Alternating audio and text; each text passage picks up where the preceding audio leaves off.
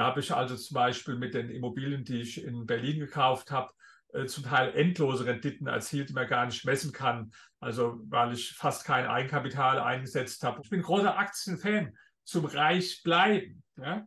und auch für langfristige Sparpläne. Aber zum Reich werden da ist doch Unternehmertum. Dr. Dr. Zietelmann, Sie haben nach Ihrer Tätigkeit als Journalist Ihr eigenes PR-Unternehmen gegründet, die Dr. Zietelmann PB GmbH, und das bis 2016 zum größten PR-Beratungsunternehmen in der deutschen Immobilienbranche ausgebaut und dann auch verkauft. Heute sind Sie weiter Unternehmer und Investor und deswegen die Frage, wie sieht eigentlich Ihr eigenes Portfolio grob aus? Wie viel Prozent machen Immobilien, Aktien, Fonds und Währungen hier aus? Ja, äh, da muss ich erstmal dazu sagen, dass jetzt mein Hauptziel über viele Jahre nicht mehr war, reich zu werden, weil ich ja reich bin, sondern reich zu bleiben. Ja, das ist dann schon auch, äh, hat gewisse Auswirkungen auf das Portfolio. Ähm, das ist auch nicht immer gleich. Das äh, schwankt natürlich auch. Äh, ich habe eine ganze Reihe Immobilien verkauft. Dadurch ist natürlich die Immobilienquote dann äh, gesunken. Ja. Auch die Aktienkurse, die gehen äh, auf und ab, ja, sodass das jetzt keine äh, konstante Geschichte ist, aber so, ich kann mal die Hauptelemente trotzdem benennen. Also es ist so grob, obwohl ich äh, viele Immobilien verkauft habe, immer noch äh, etwa die Hälfte sind äh, Immobilien in dem äh, Portfolio. Ja? Obwohl ich, wie gesagt, sehr viel verkauft habe. Und die andere Hälfte, die besteht aus zum großen Teil aus Aktien und Anleihen und auch noch etwas Gold dabei. Das ist es dann schon. Also ich habe jetzt äh, in dem Portfolio finde ich zum Beispiel keine Kryptowährungen, keine äh, Bitcoins, auch eine Menge andere Sachen nicht, die, die manche Leute haben, sondern bei mir ist der Schwerpunkt Immobilien, Aktien, Anleihen. Und äh, ich will jetzt was zum Thema, zum Thema Anleihen sagen, weil das wundert manche Leute vielleicht, weil ähm, Anleihen äh, haben ja jahrelang keine oder sogar Negativverzinsungen gebracht. Ja? Und ähm, deswegen wundert sich manche, warum habe ich überhaupt äh, Geld in Anleihen? Ja? Also das muss ich ein bisschen ausholen. Natürlich wäre der potenzielle Ertrag höher, wenn ich alles ausschließlich in Immobilien und Aktien angelegt hätte.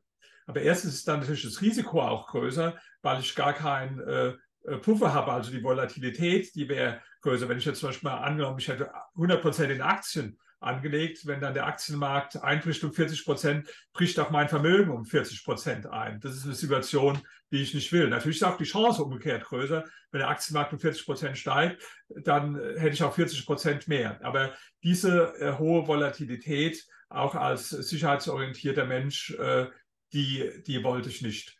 Zweiter Punkt ist, ich brauche ja auch Geld, sagen wir, eine Liquidität, um eventuell auch mal andere Investitionen zu machen oder wenn eine gute Chance ist, auch mal nachzukaufen. Also zum Beispiel, wo Corona äh, war, da, da war mal ein riesen Einbruch am Aktienmarkt und das habe ich dann genutzt, um da äh, dann im Aktienmarkt nachzukaufen. Das Geld muss ja irgendwo woher kommen. Wo kommt es her? Also bei mir bestimmt nicht auf dem Bankkonto. Ja? Also äh, ich kann auch keinen Menschen verstehen, der jetzt größere Beträge auf dem Bankkonto liegen hat, obwohl ich Leute kenne, die das machen. Größere Beträge meine ich jetzt Millionenbeträge, also nicht jetzt mal äh, 100.000 oder so, sondern ich meine jetzt Millionenbeträge. Die würde ich jetzt nicht auf dem Bankkonto liegen lassen, weil letztlich Bankkonto heißt ja, du leihst der Bank Geld. Ja, und wenn ich mir dann die Bilanz der Bank angucke und deren, sagen wir mal, Bonität anschaue, dann äh, ist mir das doch zu zum Beispiel der Deutschen Bank ein paar Millionen zu leihen. Äh, würde ich vielleicht machen, wenn die sagen würden, wir geben dir dafür 10 oder 15 Prozent, aber so ist es ja nicht. Du kriegst fast nichts dafür, leistest jemanden, der im Prinzip eine schwache Bonität hat. Ja? Und dann sage ich, dann leihe ich es lieber dem Staat, der eine bessere Bonität hat. Jetzt sagen ja manche, ja, ich habe das Geld auf der Bank und äh, wenn die pleite geht, wird die ja vom Staat gerettet.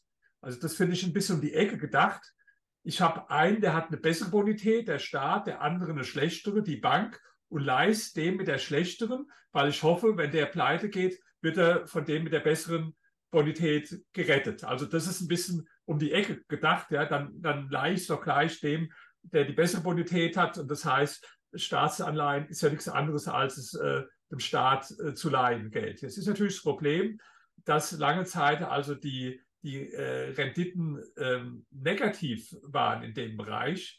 Und das, dazu muss ich sagen, diese Anleihen dienen auch nur als Puffer und äh, in dem äh, Portfolio und halt als Liquiditätsreserve. Die haben jetzt nicht die Aufgabe, das, das Vermögen zu vermehren. Ja? Das ist also auch ein, ein, äh, ein Irrtum. Das ist sowieso, wenn man nach Inflation ganz selten nur möglich, dass man also mit Anleihen jetzt das Vermögen vermehrt. Da muss man schon in andere Assetklassen gehen, also zum Beispiel äh, Aktien oder Immobilien. Nee, das dient halt als Puffer. Und ähm, jetzt war das so lange auch kein großes Problem wie die Inflation. Die war ja lange Zeit so zwischen 0 und 2 Prozent äh, gewesen. Und da ist äh, das zumindest auf kurze Zeit jetzt kein großes Problem. Jetzt, wo die Inflation höher war, vorübergehend, ist natürlich ein Riesenproblem, äh, wenn Sie das in Anleihen haben. Deswegen habe ich jetzt einen Teil auch in inflationsindexierte Anleihen oder inzwischen ist sogar so, dass mein gesamter Anleihenbestand inflationsindexiert ist. Ja. Das ist jetzt eine sehr komplizierte Anlageart. Ähm, deswegen darf ich ja vielleicht ein bisschen äh, Reklame machen für einen Kurs, den ich jetzt gerade äh, neu rausbringe am 4. Januar. Und zwar wenn man also zittelmann-freiheit.de, zittelmann-freiheit.de, da findet man eine Masterclass über finanzielle Freiheit. Und da erkläre ich auch die Sache mit den inflationsindexierten Anleihen, warum Anleihen überhaupt, äh, Portfoliofragen. Das wird da also in einem Videokurs, das sind zweimal vier Stunden, also acht Stunden insgesamt, ja, und noch Begleitmaterialien und, und, und. Ja. Da gehe ich ausführlicher darauf ein, als ich das jetzt in so einem Interview kann. Was ich nur sagen will, also die Hauptkomponenten Immobilien, Aktien, Anleihen und Anleihen ist das, was man eigentlich nur näher erklären muss, weil das ist jetzt äh, klug ist, in Immobilien und in ähm, Aktien zu investieren. Ich glaube, da gibt es nicht so allzu viele Leute, die das bestreiten würden. Äh, Gold habe ich auch, ja. Ich habe das Gold genau, jetzt ist es 20 Jahre her, habe ich äh, äh, doch äh, einige Kilo Gold gekauft. Das, das Kilo hat damals zwischen 10.000 und 14.000 äh, Euro gekostet. Das ist jetzt so irgendwo bei knapp unter 60.000 Euro. War also auch keine verkehrte Entscheidung, dass ich da damals Gold, aber das Gold ist für mich nur eine Versicherung für den Fall, dass man so einen ultimativen Finanzcrash hat. Äh, dann will ich ja nicht irgendwo am Schluss nicht, dass ich dann auch noch Bürgergeld beantragen muss oder so, ja. Da will ich ja auch äh, vermögend bleiben und da ist ganz gut, wenn man als, ähm, als Reserve praktisch äh, so als Versicherung dann Gold noch hat. Mhm. Und Ihr neues Produkt auf zietelmann-freiheit.de haben wir auch unten in der Videobeschreibung verlinkt. Da kann man sich heute schon anmelden. Das Produkt geht, wie gesagt, morgen dann online und ja, ist äh, für alle, was die an finanzieller Freiheit interessiert sind. Ich bin mal sehr gespannt, was hier die Leute dazu sagen. Ich wollte Sie jetzt noch fragen, ähm, und bei Ihrer Portfolio-Strategie mit diesem Portfolio, was Sie gerade beschrieben haben, ist das zum Beispiel ein Buy and Hold, was Sie da betreiben, wie der Warren Buffett, oder gehen Sie da vielleicht ein bisschen anders vor? Nein, nein, ich bin also jemand, der der Meinung ist, den größten Teil der Zeit ist es für den Investor das Beste, überhaupt nichts zu tun gar nichts zu machen. Null. Ja, einfach nichts zu machen. Ja. Ich mache also ganz wenig. Ja. Die, der Irrtum der Leute ist, äh, dass sie so denken, ich muss da vorm Computer sitzen und da handeln und trade und da Krypto und Aktien rauf und runter. Also das ist eine gute Möglichkeit, um arm zu werden. Nee, ich bin tatsächlich ein Buy-and-Hold-Mensch, der sehr, sehr wenig nur macht, ja, meistens passiv. Ich habe, wie gesagt, dann mal einen Teil Immobilien verkauft nach zehn Jahren Haltedauer, weil es auch nach zehn Jahren äh, steuerfrei ist. Ja. Das habe ich mal äh, gemacht. Ja. Ich äh, habe auch mal äh, bei, bei Aktien, ich habe auch so einen Sparplan, ja, äh, kann ich vielleicht auch mal äh, sagen, ja, Sparplan. Ich habe einen Freund, Gerd Kommer, werden auch vielleicht die, mein, die einen oder anderen kennen, das ist so der ETF-Spezialist, ja dem bin ich auch befreundet und er hat jetzt auch so einen Fonds aufgelegt. Da habe ich also auch einen Sparplan, wo ich in äh, den Fonds investiere. Und äh, das heißt, aber das ist auch ein Automatismus. Ja, da geht äh, äh, von den Mieteinnahmen geht halt jeden Monat dann ein bestimmter Betrag äh, dahin. Aber ich bin also jetzt nicht der, der aktiv hin und her. Ich habe auch im Aktienbereich, muss ich zugeben, ich glaube, dass ich die meisten Leute, die also mit Einzelaktien hin und her machen, dass die da nicht äh, unbedingt erfolgreich sind. Deswegen bin ich äh, doch jemand eher äh, passiv, also das heißt ETF. Ich habe da einen Fonds, der weltweit ähm, praktisch ähm, äh, auf, auf, auf den Weltindex, auf den MSCI World geht ein ETF und da ist also das äh, Großteil vom Geld drin, was ich in, im Aktienbereich habe. Mhm, mhm, okay. Und wie viel Prozent dürfen Aktien bzw. ETFs bei Ihnen im Portfolio maximal ausmachen? Und ändert sich das vielleicht im Laufe der Zeit?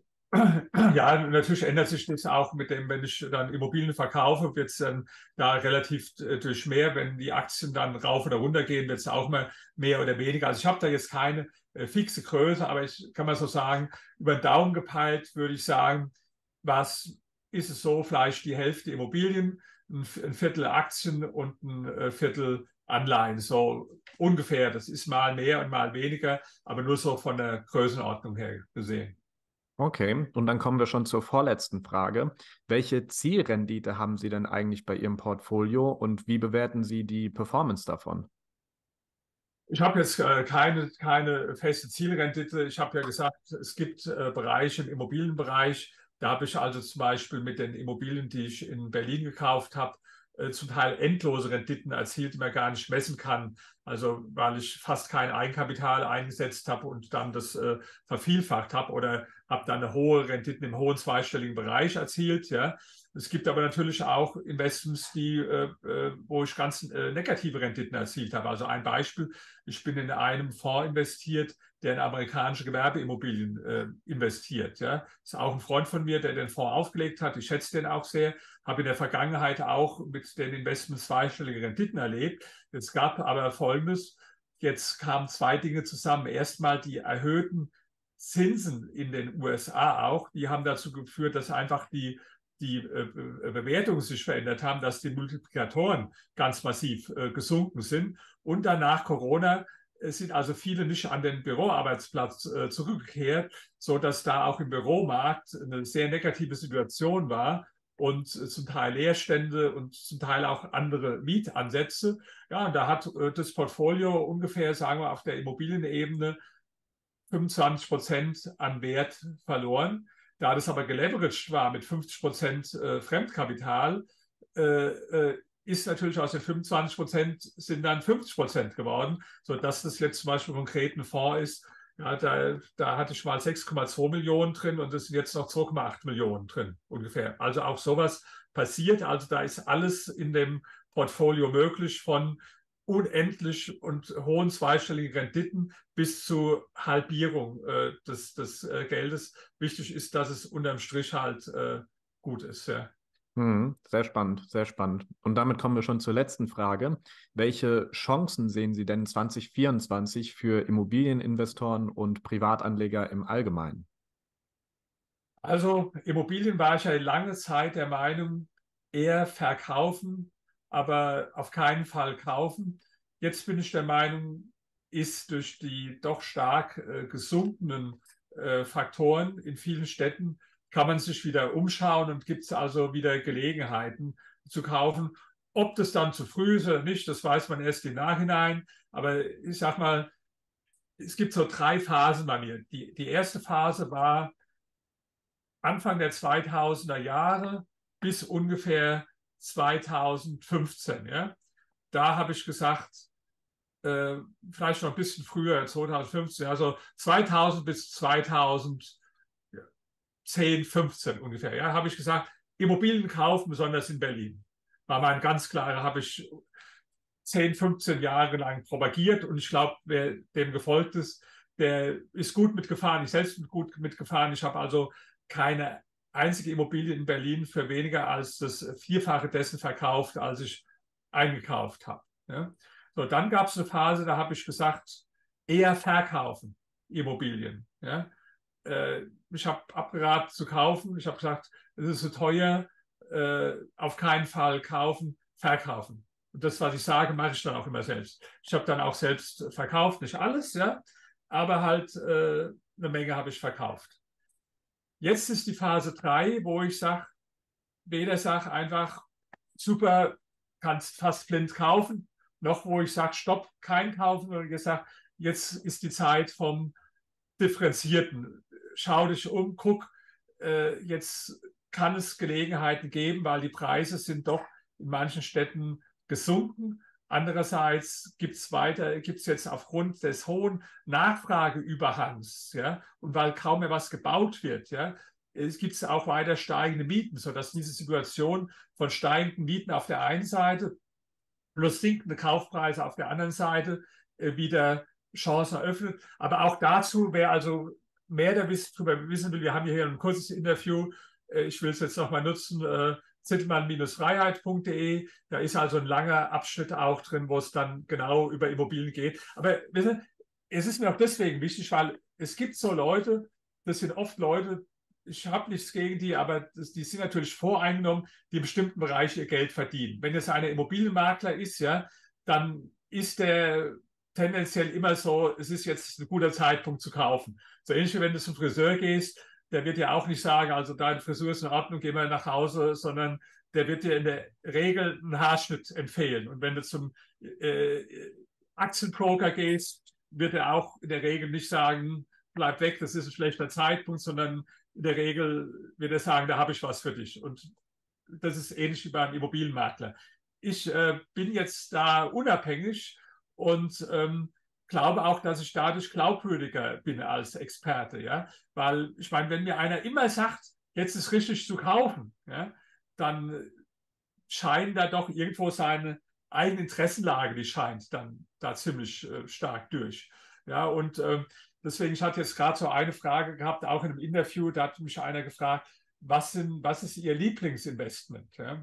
Dann habe ich gesagt, wenn jetzt schon einer ein Lieblingsinvestment hat, dann bin ich schon da skeptisch, weil der hat dann offenbar eine zu emotionale Beziehung. Also ich liebe Immobilien. Ja? Also ich liebe Immobilien dann, wenn es ein guter Zeitpunkt ist, Immobilien zu kaufen. Aber ich liebe sie nicht, wenn es jetzt ein guter Zeitpunkt äh, ist, zu, zu verkaufen. Ja? Oder ich liebe Aktien. Das sind alles so emotionale Dinge. Ich finde, man sollte die Emotionen äh, soweit einem das äh, gelingt, äh, versuchen ein bisschen rauszulassen. Und deswegen, also es ist schon äh, eine Wissenschaft für sich, aber ich will trotzdem noch eine wichtige Botschaft anfügen.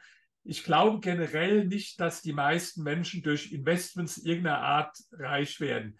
Weder Aktien, Immobilien, Gold, Krypto, was weiß ich.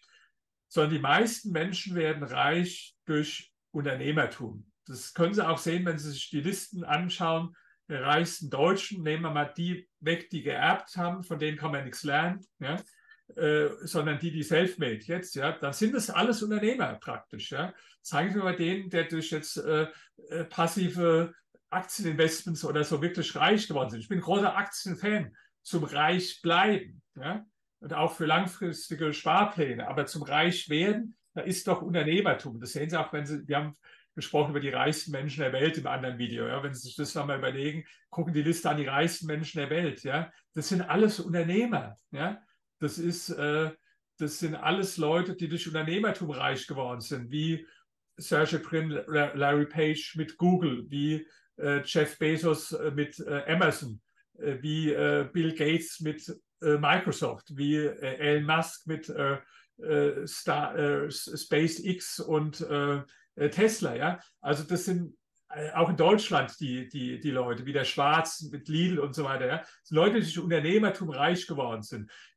Da wird immer dann gesagt, ja, aber da gibt es den Warren Buffett, der ist doch durch Aktien reich geworden. Auch der Buffett ist, ist unternehmerisch äh, reich geworden. Das ist kein typischer passiver Aktieninvestor. Da könnte man noch eine Menge zu sagen. Aber selbst wenn Sie den als Ausnahme akzeptieren würden, machen Sie wirklich mal zum Spaß, das gucken Sie mal an, die, die Liste der 100 reichsten Deutschen und die Liste der 100 reichsten Menschen der Welt. Und dann schreiben Sie mal immer daneben, wodurch ist der reich geworden. Und dann überlegen Sie mal, wenn die meisten als Unternehmer reich geworden sind, äh, dann ist doch die logische Konsequenz, dass wenn sie reich werden wollen, dass sie eher über Unternehmertum nachdenken sollen, als ich sitze hier den ganzen Tag vorm Bildschirm und gucke irgendwie, welche äh, Kryptowährungen sind gerade die besten.